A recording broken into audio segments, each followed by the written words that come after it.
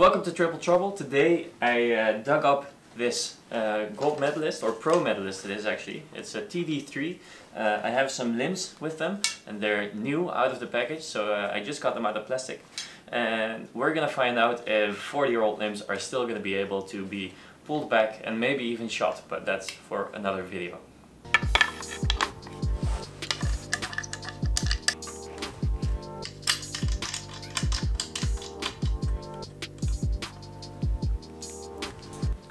This string is uh, just a normal string that I would shoot any day, but it's just for pulling it back. So when I'm gonna shoot this bow, I'm gonna make an old, uh, maybe uh, Dacron string. I don't know what, what I should put on this. Maybe you can comment below if you know. Uh, but this, uh, this string is just for the sake of pulling it back and seeing if it will explode or not. Always use a stringer, especially with uh, bows that you don't know if they're gonna hold up or not.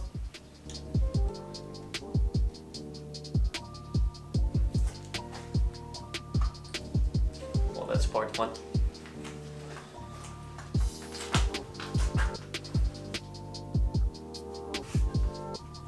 So we put up uh, this bow on a tiller board. Uh, Jaap made this tiller board to see if his bows are uh, correct, but uh, for now we're just going to use it so that I don't have to pull it back myself and uh, get the limbs in my face, possibly.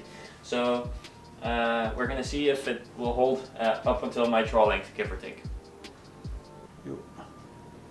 So it's on the tiller board. I have the stick in my hand, so I'm in a safe distance. Um, I have a pretty long draw length, so I have to pull it back quite far. It's a 70 inch bow, and uh, we're gonna see if it holds up.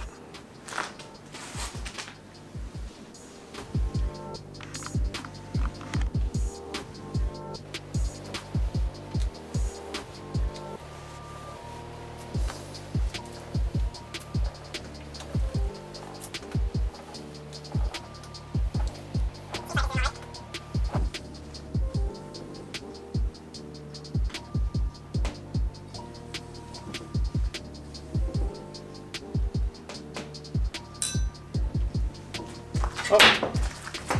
Well, I was able to pull it back all the way through the clicker. So the next test for this bow will be if it shoots and um, I have to find out what material of string I am going to use. So if there's anybody who knows what kind of string I should shoot on this bow, please let me know in the comments because I really want to shoot this.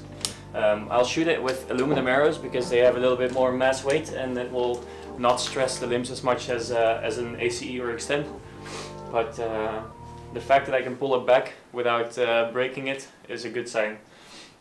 So maybe it's interesting now to see what kind of poundage I pull out of it. So we just established that I can pull it back completely. I hope that I can see how heavy it is. Uh, we have a scale on it and um, we're gonna see if I can uh, pull it all the way back. The limbs are 43, I have a 31 inch draw length, so it might get up to 50. So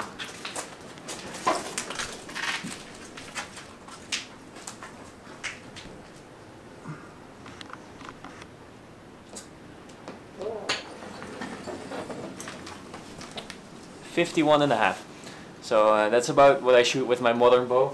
I didn't quite get it through the clicker because the rope was a bit too short, the draw length is a bit too long, but 51 and a half plus a centimeter, so probably 52. So this bow is able to pull back all the way to 31 inches, so that should mean that I can shoot it. I am looking forward to shooting this at a club competition, uh, just to see if it will still shoot and how it will shoot and uh, what changed in the shooting a bow that's 40 years old. So uh, stay tuned for the video in which I shoot it and um, I hope you enjoyed watching this one. See you next week on another Triple Trouble video.